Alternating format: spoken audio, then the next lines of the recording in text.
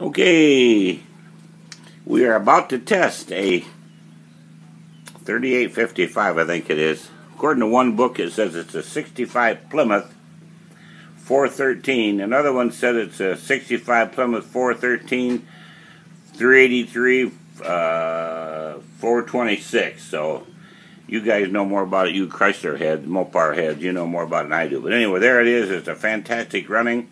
It's perfect. We're going to start it up and put her through the paces. And she's running right there, island. Just checking the back barrels out right there. Seeing how they're doing. And they kick in normally like they should. This is www.carburetorsandmore.com.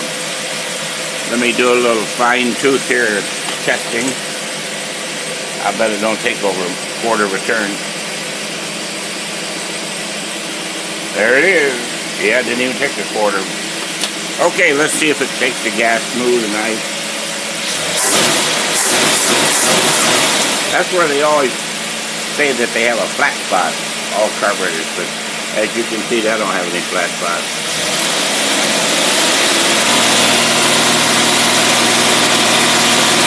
Cruising all day long right there. 832-221-4007. Hey, guess what? 83 degrees today here in Houston. We're about 35 miles to the east. Of course, it's not so good as far as the air quality. A lot of people have still got to stay in. Schools are closed. Travel's restricted. But we're running around here. We're still working. We're thinking about going to get a gas mask. But we're doing what we can having more fun than we ought to for a couple kids. All right, got a vacuum pull off here. Boy, that thing works good. Okie dokie. Let me watch it.